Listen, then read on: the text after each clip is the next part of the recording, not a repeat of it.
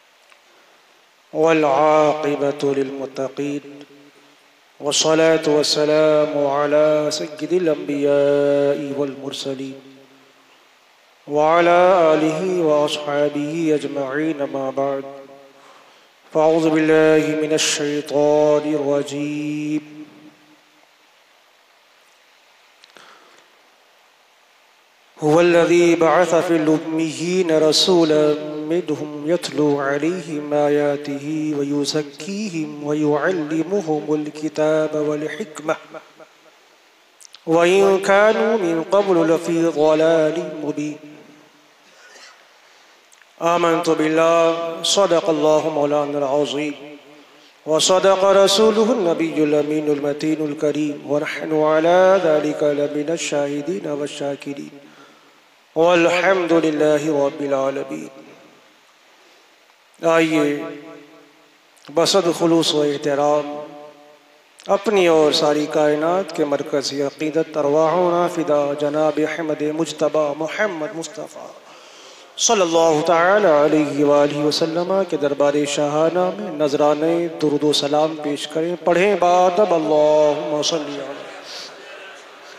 अला सय्यदिना शफ़ीअना हबीबना मौलाना मोहम्मद मअदिन जूदी वल करम वालिहिल किराम वब्निहिल करीम वबारिक वसल्लिम सलातन व सलामन अलैका या सय्यदी या रसूल अल्लाह सल्लल्लाहु तआला अलैहि वसल्लम सरकार आला हज़रत अज़ीमुल बरकत मुजद्दिद दीन व मिल्लत शाह इमाम अहमद रज़ा खां फासिल बरेलवी रज़ी अल्लाह तआला अपने आका की सना बयान करते हैं। सबसे आला व अला हमारा नबी, सबसे बाला व वाला हमारा नबी। जिसको शाया है अरश खुदा पर जुलूस, है वो सुल्तान वाला हमारा नबी। सारे अच्छों में अच्छा समझिए जिसे, है उस अच्छे से अच्छा हमारा नबी। सारे ऊंचों में ऊँचा समझिए जिसे, है उस ऊँचे से ऊँचा हमारा नबी। मुल्क कौन में अम्बिया ताजदार? ताजदारों का आका हमारा नबी। कौन देता है देने को मुँह चाहिए? देने वाला है सच्चा हमारा नबी। गमजदों को रजा मुजदा दीजिए के दीजिए के है। बेकसों का सहारा हमारा नबी। बिरादरा ने मिलत गुजश्ता जुमा को मैंने हालात हाजरा पर एक अहम टॉपिक के तहत आप लोगों के साथ गुफ्तगु की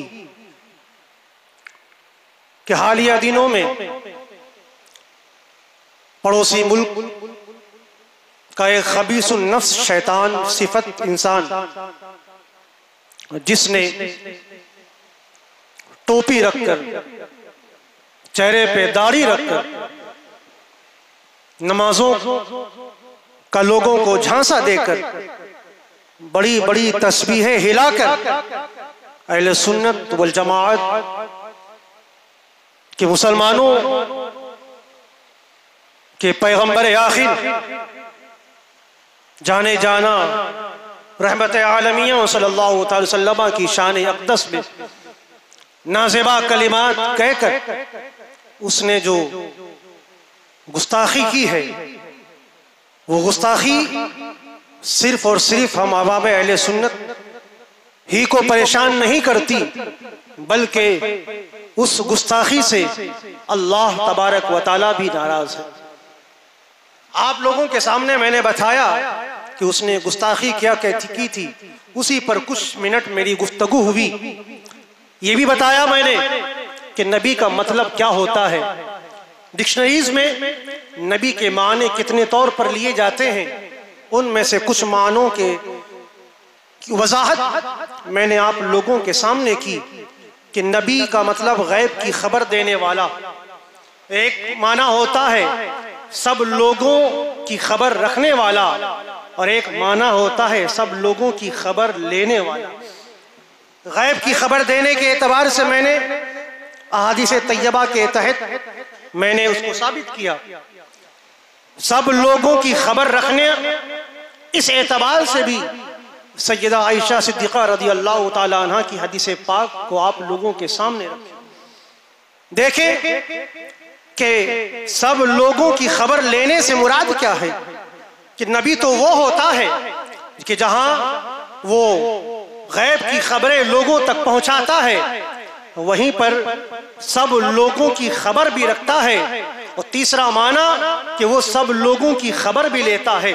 इसका मतलब ये हुआ कि मेरे आका, सरवर कायनात तमाम बेकसों, मजबूरों, बेसहारों की खबर लेने वाले हैं। एक गरीब, नादार, मुफलिस इंसान जब किसी मालदार की चौखट पर जाता है, वो मालदार भी कैसा मालदार हो कि जिसके सखावत का डंका पूरी दुनिया में बज रहा है, जिसकी सखावत का चर्चा पूरे इंसानों के दरमियान उसका शोहरा है कि ये इंसान बड़ा सखी है, कोई मजबूर जाता है तो मजबूरों की फरियाद रसी करता है, कोई बेसहारा जाता है तो बेसहारा की मदद करता है, कोई नादार और मजबूर जाता है तो उसकी भी किफालत की ज़िम्मेदारी उठा लेता है।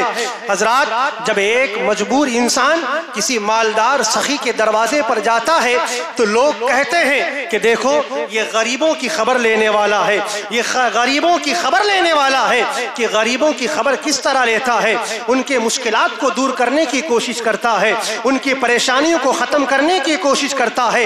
लेकिन आओ, उस ताजदार आलम के बारगाह में चले, उस सरवर अम्बिया के बारगाह में चले कि जहाँ से लोगों को बादशाहत मिली है, कि जहाँ से लोगों को सखावत मिली है, कि जहाँ से अल्लाह तबारक वाली ने उस महबूब के दर से लोगों को बांटने का एक तरीका दिया है। वो सरवर अम्बिया अलैहि वसल्लम, के जहाँ पर एक मालदार भी जाता है तो अपने खाली दामन को उस दर पर वहाँ बिछाने की कोशिश करता है। एक गरीब जाता है तो वो भी अपने खाली दामन को दर रसूल पर रख देता है। एक बादशाह जाता है तो बादशाह अपनी बादशाहत को लेकर नहीं जाता है, बल्कि वो भी एक फकीराना लिबास पहनकर दर रसूल पर हाजिरी देता है और दुनिया वालों को बताता है, ऐ दुनिया वालों, तुम अगरचे मुझे मेरे मुल्क का बादशाह समझते हो लेकिन ये वो दर है कि जहाँ पर हर मुल्क का बादशाह अपने फकीरी लिबास में आता है और ये ऐलान करता है कि तमाम बादशाह अपने मुल्क के बादशाह हैं और अल्लाह ने इसको ऐसा बादशाह बनाया है कि पूरी कायनात के बादशाह है। हर इंसान उस दर पे जाता है, खाली दामन को लेकर जाता है और लोग कहते नज़र आते हैं, ये बड़ा सखी है, ये बड़ा जवाद है, ये लोगों की खबर लेने वाला है। तभी तो मेरे आका सरवर इरशाद फरमाते हैं, सहाबा कराम भी बैठे हुए हैं और एक तरफ़ सहाबिया भी बैठे हैं। मेरे आका इर्शाद फरमाते हैं, ऐ सहाबिया, तुम सुनो, ये बात तुम्हारे लिए कह रहा हूँ, अल्लाह अल्लाह। मेरे आका फरमाते हैं, ऐ सहाबिया, जानती हो अगर किसी औरत ने अपने तीन बच्चों को खाक में मिला दिया। यानी उसके तीन छोटे बच्चे अगर दुनिया से चले गए, उनका इंतकाल हो गया और उनके इंतकाल पर अगर उस औरत ने उस माँ ने सब्र किया तो कल कयामत के मैदान में वही बच्चा है जो अपनी माँ की शफात करवा के जन्नत में लेकर जाएगा। मेरे आका फरमाते हैं, तीन बच्चे किसी के अगर इंतकाल कर जाए, किसी सहाबिया ने पूछा, या रसूल अल्लाह अली का सलाम, अगर किसी के दो ही बच्चे बचपन में इंतकाल कर जाए तो क्या उसको ये बशारत नसीब ना होगी? मेरे आका फरमाते हैं हाँ हाँ अगर किसी के दो बच्चे ही दुनिया से चले जाए तो कल कयामत में यही दो बच्चे उसकी शफात के जिम्मेदार होंगे। किसी सहाबिया ने फिर पूछ लिया, या रसूल अल्लाह अली का सलाम अगर किसी के एक ही बच्चा हो तो? अगर किसी के एक ही बच्चा हो, जो दुनिया से बचपने के आलम में चला गया हो तो क्या वो महरूम रह जाएगी? मेरे आका फरमाते हैं, नहीं नहीं, उसको भी यही बशारत मिलने वाली है, उसको भी यही इनाम मिलने वाला है। फिर किसी ने पूछा, एक है पूछ लेती है, या रसूल अल्लाह सलाम अगर किसी के कोई बच्चा ही ना हो तो क्या वो इस इनाम से महरूम रह जाएगी? अल्लाह अल्लाह नबी, किस तरह अपने गुनेगार उम्मत की खबर लेने वाले हैं? वो पूछो, इस हदीस पाक के बारे में, पढ़ो, इस हदीस पाक को तो मेरे आका फरमाते हैं ऐसा परेशान ना हो, अगर किसी का कोई बच्चा दुनिया से ना जाए तो घबराने की बात नहीं कल कयामत में रसूल उसका शफात करे यह है खबर लेने वाला कि मेरे नबी को अल्लाह तबारक वाली ने जहाँ गैब की खबर देने वाला बनाकर दुनिया में भेजा है वहीं लोगों की खबर लेने वाला और लोगों की खबर रखने वाला बनाकर अब अगर कोई इसका इनकार करे तो समझ लेना हाँ वो सब कुछ तो हो सकता है मोमिन नहीं हो सकता वो नमाज़ पढ़ने वाला तो हो है मोमिन मुसलमान नहीं हो सकता। वो रोजा रखने वाला तो हो सकता है। जो लोग चिबिद्दी के शौरबे की तरह, जो लोग ठाए ठाए करते हैं कि देखो नबी को गैब की खबर नहीं, ऐसा कैसे हो सकता है? तुम अपनी बिलाली मस्जिद में खड़े होकर नबी पर सलाम पढ़ते हो, क्या नबी भी सुनते हैं माजल्ला वो हमारे जहनों इंतज़ार फैलाने की कोशिश करते हैं। अरे, खुद का तो ईमान सलामत ना रहा। हमारे आवाम भोले भाले मुसलमानों के ईमान और अकीदे पर डाका डालते हो। आल ने फरमाया था, सोना जंगल रात अंधेरी, शाही बदली काली है। सोने वाले जगते रही हो, चोरों की रखवाली है। इन्हीं चीज़ चोरों से तो आला हज़रत ने हमें बचने को सबक दिया था, यही दर्श दिया था। अरे मोमिनो, इन चोरों से अपने आप को बचाना। ये तुम्हारे ईमान पर डाका डालने वाले हैं। ये अकीदा इल्म गैब को तुम्हारे सीने से निकालने वाले हैं। अल्लाह अकबर। और कहते हैं, कैसे हैं? रसूलुल्लाह किस तरह तुम्हारे सलाम को, किस तरह तुम्हारे दुरूद को, किस तरह तुम्हारी फरियाद को सुनने वाले हैं और किस तरह तुम्हारी फरियाद रसी करने वाले हैं। अरे, नाहंजार, तुझे अगर ये सवाल करना था तो सवाल करने से पहले ये हदीस शफात को पढ़ लेता तो फिर कभी तुझे ये एतराज़ करने की कोई जहमत ही ना करता ये हदीस शफात ही बता रही है कि मेरे आका फरमाते हैं कि अगर किसी का कोई नहीं है कि जान लो, कल कयामत का मैदान होगा, नफसी नफसी का आलम होगा कि माँ बेटे से भागेगी, बाप बेटे से भागेगा, एक औलाद अपने वालदेन से भागेगा, भाई भाई से कतराता नज़र आएगा, किसी के किसी के पास कोई सहारा ना होगा, लोगों के हाथों में हथकड़ियाँ लगी होंगी, लोगों के पैरों में बेड़ियाँ लगी होंगी, लोग परेशान होंगे, शफीक की तलाश तलाश में होंगे। कोई हमें सहारा दे देता, कोई हमारी नैया को पार लगा देता। हर इंसान आदम सलाम से लेकर कयामत तक जितने इंसान आने वाले हैं, सब नफसी नफसी के आलम में होंगे। सब परेशान होंगे कि कोई हमारी शफात कर देता। उस जमाने में, उस मकाम पर अगर कोई शफात करेगा, अगर कोई लोगों की खबर लेने वाला होगा तो वो कोई और नहीं है। आला फरमाते हैं पेश हक मुस्ता शफात का सुनाते जाएँगे, आप रोते जाएँगे, हमको हंसाते जाएँगे। अल्लाह, वो कोई और जात नहीं है, बल्कि हमारे मुस्तफ़ा की। कहते हो, खबर नहीं लेंगे? अरे, वाकई, वो तुम्हारा कोई और नबी होगा, जो तुम्हारी ना यहाँ खबर लेता है, ना अरे, हमारे नबी तो वो हैं, जो यहाँ भी खबर लेते हैं, कब्र में भी खबर लेंगे, और कयामत में भी खबर लेंगे। तुम किसी और नबी का कलमा पढ़ते हो शायद।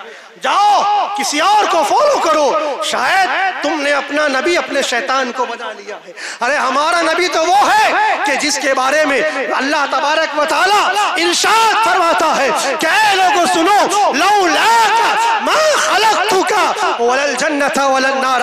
महबूब लोगों, सुन लो, अगर मैं अपने महबूब को पैदा ना करता तो जन्नत को पैदा ना करता दोजक को पैदा ना करता अर्श आदम को पैदा ना करता, ये कुर्सी को पैदा ना करता करता, लोहो कलम को ना पैदा करता, यहाँ तक के आदम से लेकर ईसा तक किसी पैगंबर को पैदा वो किसी और के नबी होंगे कि जिनके बारे में तुम कहते हो तुम्हारी जबान कट न गई, तुम्हारा दिल भसम ना हो गया जलकर। अरे तुम्हारा वजूद मिट ना गया। अरे पाखंडियों, कि जब तुमने हमारे नबी की शान में गुस्ताखी की और कहते फिरते हो, ये तौहीद है ये दीन है। अरे पाखंडियों, तुम्हारी इसी पाखंड की बुनियाद पर आज टासना और दूसरे जैसे इलाकों में आज हमारे नबी की शान में गुस्ताखी तुमने ना क्यों की होती, किसी को रास्ता ना मिलता। तुमने ना की होती तो किसी को मौका ना मिलता। आज कहते हो उसने गुस्ताखी की। पहले अपने गिरिबान में जाकर तुमने क्या किया? कहते हो माजल्ला मेरे नबी बे मेरे नबी अनपढ़ थे, जाहिल थे। अरे सबसे बड़ा जाहिल अगर कोई है तो तू है। तेरे मानने वाले हैं और जिसको तू मानता है, वो कहते तुमने सुना होगा ना, देखा होगा वीडियो में? वायरल हुई है सोशल मीडिया पर। अरे अरे, जानते नहीं हो?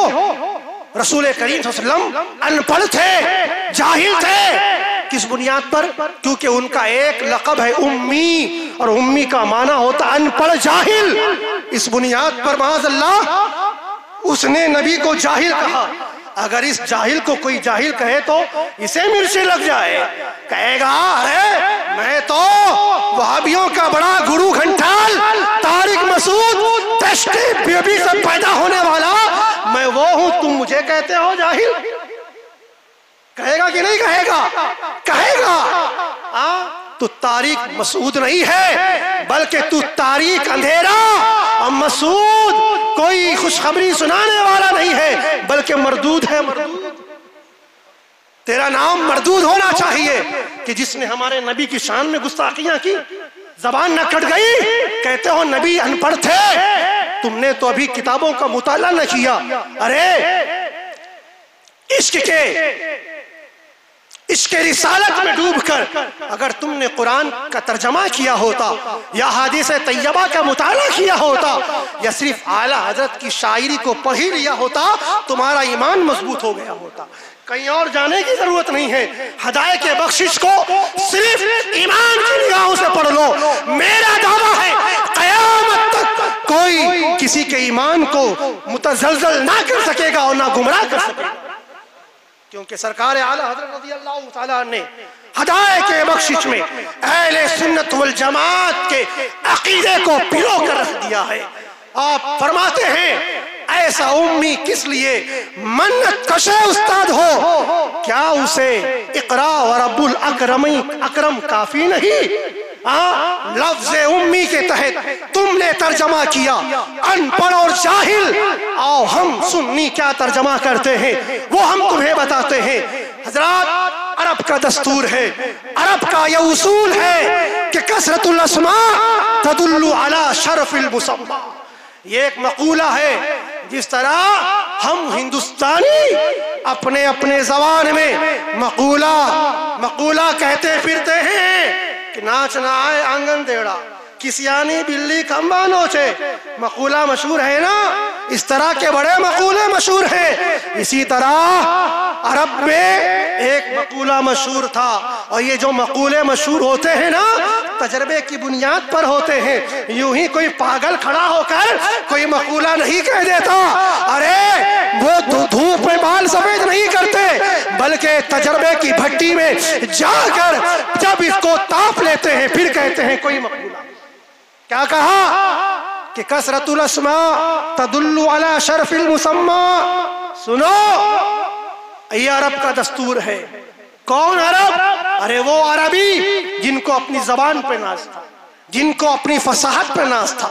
जिनको अपने बलागत पर नाज था, जिनके, जिनको अपनी जबान दारी और शेर शायरी पर नाज था, इसी बुनियाद पर वो पूरी दुनिया को सिवाय अपने अजमी यानी गूँगा कहा करते थे, कहा करते हैं। वो अरबी कहते हैं, किसी एक जात के कई नाम अगर हो तो ये उसके अजमतो शराफत पर दलाल हो, दलील होती ये अरब का उसूल है, किसी का एक दो नाम हो, कोई वैल्यू नहीं। अगर किसी के बहुत सारे नाम हो तो फरमाते हैं, जितने नाम ज़्यादा होंगे, उसकी अजमत उतनी बुलंद होगी। उसकी रिफत उतनी बुलंद होगी। कसरतुल अस्मा तदुल्लु अला शरफिल मुसम्मा। जितने ज़्यादा आसमा होंगे, उसकी इज़्ज़त उतनी ज़्यादा अरब में की जाती है। तो आओ, मेरे नबी की बारगाह में आओ। उनके बारे में जाने कि मेरे आका के सिफाती नाम कितने थे। उठाओ किताब। अल अकीदत तहाविया एक किताब है। अहले सुन्नत वल जमात की रीढ़ की हड्डी की किताब है वो। किसकी किताब है जानते हो? अल्लामा इमाम तहावी रहमा की किताब है। ये इमाम तहावी कौन है? सुनो, मैं उन पाखंडियों को कहना चाहता हूँ। जिन्होंने अभी तो किताबों का मुताला न किया और कहते हैं, हम तो साहबा को मानते हैं, हम तो ताबईन को मानते हैं, तबा ताबईन को मानते हैं, उनसे जो अटैच है उनको मानते हैं। तो तुमने अकीदत तहाविया को क्यों छोड़ दिया? इमाम तहावी को क्यों छोड़ दिया? इमाम इबन आबिदीन शामी रहमतुल्लाह ताला फरमाते हैं, जानते हो इमाम तहावी कौन है? अरे इमाम तहावी वो हैं कि उम्मत में आला दर्जे, सात दर्जे हैं। फुकाहा के उन सात में से तीसरे दर्जे पर इमाम तहावी का नंबर आता है। वो मुश्तहिद फिल मसाइल है।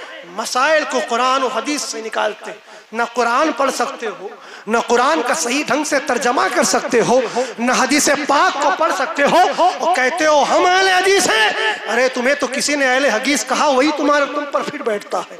अहले हदीस तुम नहीं बन सकते। अरे, हदीस वाले तो वो होते हैं जो मुस्तफ़ा के गुलाम होते हैं। हाँ इमाम तहावी रमा फरमाते हैं, सुनो, मेरे मुस्तफ़ा के नाम कितने जानते हो? वही आसमान आका के एक हज़ार नाम है। एक हज़ार नाम। अब ओलमा का इसमें अपने अपने इल्म के मुताबिक इख्तलाफ हुआ। हकीकतन इख्तलाफ नहीं है, इल्म के बुनियाद पर इख्तलाफ हुआ। किसी ने पहले कहा तीन सौ नाम, किसी ने कहा चार सौ नाम, किसी ने कहा पाँच सौ नाम, किसी ने कहा हज़ार नाम और किसी ने कहा नहीं नहीं। अरे आका के तो हज़ार से ज़्यादा नाम और जितने नाम मेरे आका की शान उतनी बुलंद उन तमाम नामों में एक नाम, सिफाती नाम उम्मी भी है। उम्मी, कहते हैं उम्मी का माना अनपढ़ है, जाहिल है। अरे जाहिलो, आओ, तुम्हें बताता हूँ, उम्मी के कितने माने होते हैं।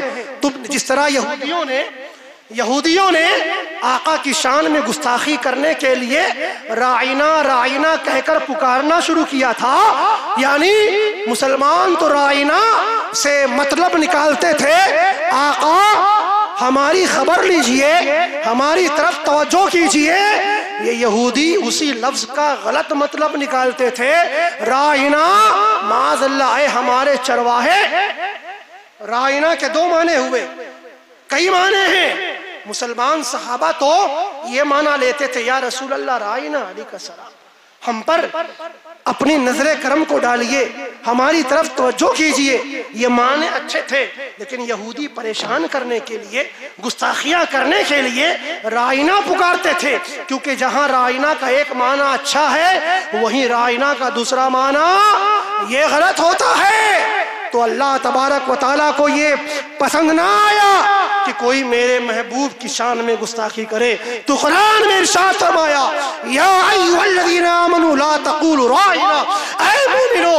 आज से तुम राइना मत कहो। है ना? राइना ना कहना। इसी तरीके से अब आओ, लफ्ज उम्मी को देखें। उम्मी के कई माने होते हैं, लेकिन कहीं पर उम्मी के कई माने होते हैं। माने को देखते जाओ। लफ्ज उम्मी, ये दो लफ्ज से बना हुआ है, मुरक्कब है। एक है उम, एक है या निस्बती। जैसे बस्ती से बस्तवी, बस्ती का रहने वाला। गोंडा का, गोंडवी, गोंडा का रहने वाला। गोरखपुर से गोरखपुरी, गोरखपुर का रहने वाला। हिंदुस्तान का रहने वाला, हिंदुस्तानी। या निस्बती है। जो निस्बत और ताल्लुक बताती है, ये फला का रहने वाला है। तो आओ, लफ्ज उम को देखो, उम्मी को देखो। लफ्ज उम्मी में दो हर्फ हैं। एक है उम, एक है या निस्बती। उम का एक माना होता है, असल और जड़। मतलब ये हुआ कि आका, आप तो कार- सारी कायनात के असल और जड़ हैं। आप ना होते तो अल्लाह किसी चीज़ को पैदा ना करता क्योंकि जहाँ जड़ होती है वहीं पौधा होता है वहीं पर दरख्त होता है वहीं पर फूल और फल निकलते हैं अगर जड़ ना हो तो किसी चीज़ का वजूद ना हो तो अल्लाह ने अपने महबूब को कायनात की असल बनाया है जड़ बनाया है आला फरमाते हैं साबित हुआ कि तमाम फराइज फुरू है असल उसूल बंदगी उस ताजवर की। असल तो वही मालिक मुख्तार नबी हैं। वो सारी कायनात की असल है। एक माना ये हुआ, दूसरा माना लो, लफ्ज। से उम्मी का। अब उम का एक माना होता है। ये उम्मुल कुरा, यानी मक्कतुल मुकर्रमा का एक माना है। उम, उम्मुल कुरा, जहाँ मक्के का एक नाम मक्का है, दूसरा नाम उम्मुल कुरा। अब यहाँ से उम्मी अगर कहा जाए तो मतलब ये होगा अय उम्मुल कुरा यानी मक्कतुल मुकर्रमा के रहने वाले नबी। दो माना हुआ, तीसरा माना देखे लफ्ज उम का एक माना होता है हाँ उम्मुल किताब यानी किताब की माँ, किताब की असल, और किताब की असल क्या है? अल्लाह ने कुरान को बताया, उम्मुल किताब। यानी कुरान मजीद। अब अगर उम्मी का माना लोगे तो ये माना होगा अय उम्मुल किताब यानी कुरान के लाने वाले नबी। एक माना ये हुआ, आओ, तुम्हें तो अभी किताबों का मुताला करने की फुर्सत नहीं है। आए बाएँ साएँ हकते फिरते हो, और मुसलमानों के ईमान और जज्बात से खिलवाड़ करते हो।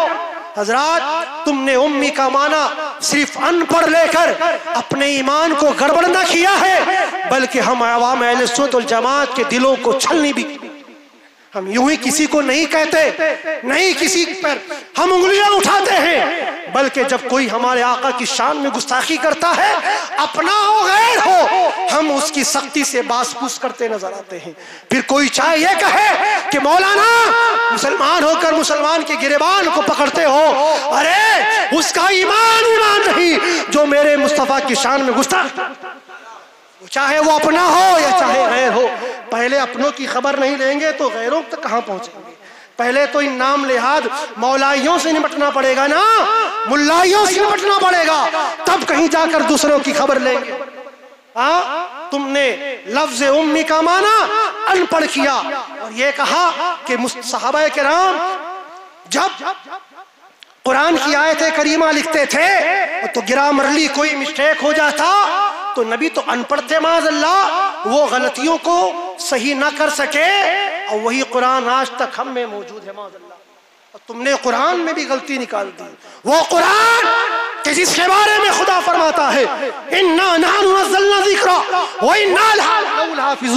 हमने ये कुरान को नाजिल किया, और हम ही उसके निगेबान हैं, हम ही उसके जिम्मेदार हैं, हम ही उसकी हिफाजत करने वाले हैं। अरे जब परवरदिगार आलम हिफाजत करने वाला है तो उसकी हिफाजत और ज़िम्मेदारी पर उंगली उठाने वालों, तुम कैसे अल्लाह पर उंगली उठा सकते हो? तुमने यहाँ ये एतराज़ करके सिर्फ़ कुरान पर हमला न किया, सिर्फ़ रसूल पर हमला न किया, बल्कि अल्लाह तबारक वाली की शान में भी गुस्ताखी की है। हजरात, ये अगर मौजू लेकर मैं बयान करूँ इंशाल्लाह चार पाँच जुमे चले जाएँगे, इस मौजू का उनवान ये खत्म ना होगा। अभी बहुत बाकी है, वक्त खत्म होगा अभी तो असल मौजू पे आने वाला था। लफ्ज उम्मी पर बहस होने वाली थी। हाँ? कि कुरान का मर्तबा क्या है? कुरान को अल्लाह तबारक वाली ने जिस नबी पर नाजिल फरमाया, उस नबी की रिसालत अजमत क्या है? अब इंशाल्लाह आइंदा जुमा में बयान करूँगा। इस मौजू को मैं खत्म ना करूँगा जब तक कि मुझे तसल्ली ना हो जाए। मैं पूरे इल्मी गुफ्तगु के साथ इस मौजू का इस मौजू के बारे में इंशाल्लाह मैं गुफ्तगु करना चाहता हूँ। कोई बार फुसकियाँ ना लगाए कि मुफ्ती साहब, दो जुमे से लगातार देवबंदियों पर हमले करते जा बहुत पीछे पीछे कहते हो। अरे, जो पीछे कहने वाले हैं, जाओ, अपने ईमान का मुहासबा करो। अपने ईमान की जाँच करो कि जो हमारे मुस्तफ़ा पर उंगलियाँ उठाए, हम उनकी शान में कुछ न कहें। ये हो ही नहीं सकता। ये एक ईमान वाले की निशानी नहीं है, बल्कि शैतानों की अलामत है जो उनका साथ देते हैं। खुदा रहा ऐसा मत करना।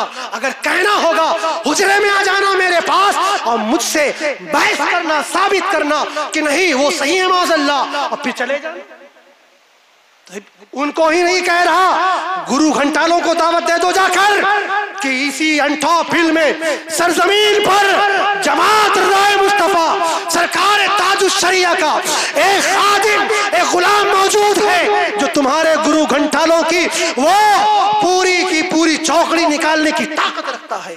ये मैं तहदी से नेमत के तौर पर कह रहा हूँ। कह देना उन गुरु घंटालों को कि जाओ, अगर मुनाजरा करना है, मुनाजरा करने लफ्ज उम्मी पर, और अगर बहस करना है तो आ जाएँ। हम अकेले नहीं करेंगे, लोगों के सामने करेंगे, ताकि दूध का दूध, पानी का पानी, मूत को दूध से अलग कर दिया जाए, और दूध को मूत से अलग कर दिया जाए।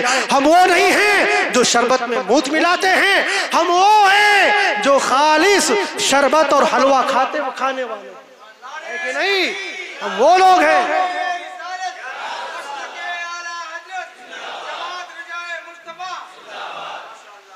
इंशाला अगले की आइंदा गुफ्तगु अगले जुमा होगी। आप हजरा से गुजारिश है, फिर आए और इस मौजू को पूरे वजात के साथ सुनते जाएँ। अल्लाह तबारक मुझे, आप सबको हक कहने हक सुनने, हक पर अमल करने की तोहफी की रफी का जो कहूँ मौला, वो कुरान और हदीस से साबित करने की तोहफी का फरमाए। और हमें दीन और सुनियत पर तादम आखिर कायम रहने की तोहफी का फरमाए। आमीन, या रब्बल आलमीन बिजाहिन नबी अमीन करीब सल्लल्लाहु अलैहि वसल्लम। वाखिर दावाना अनिल रब्बिल आलमीन। ये महीना 11वीं शरीफ का महीना है। इंशाअल्लाह आने वाले एतवार संडे को इसी मस्जिद में जश्न गौसुल वरा का प्रोग्राम रखा जा रहा है। आप हज़ार से गुजारिश है कि बड़े पीर की बारगाह में गुलामी का सबूत देते हुए आप संडे को इसी मस्जिद में तशरीफ़ लाएँ और जश्न गौसुल वरा में शिरकत फरमाएँ। वालेकुम